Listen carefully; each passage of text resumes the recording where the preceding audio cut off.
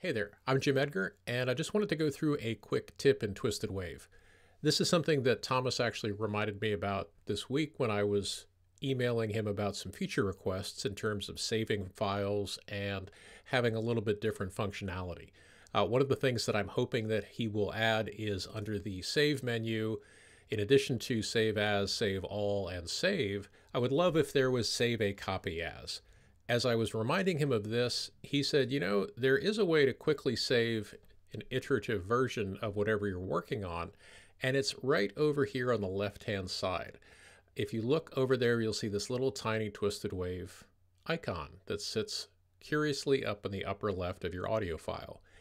Anytime you have audio in your audio file, you can simply click on that icon, drag it out to the desktop, and when you let go, it actually saves a version of your file on the desktop. So it can be something that's very effective if you are about to do something major like, oh, erase half the file.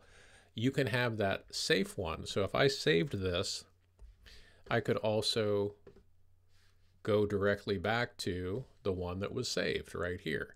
So in this case, I have my save another version. Now these have the same name because they were saved into different folders. But say, for example, I go back to the original and I say, you know, I like this shorter version. Let's save a copy of that. And when I save that, it adds a 2 to that name so we don't overwrite any other copies that we have. You can also, as Thomas pointed out, if you highlight part of the audio, and use this function, it will just export that particular side. So here's number three, and it just recorded, excuse me, it just actually exported the section that I had selected here.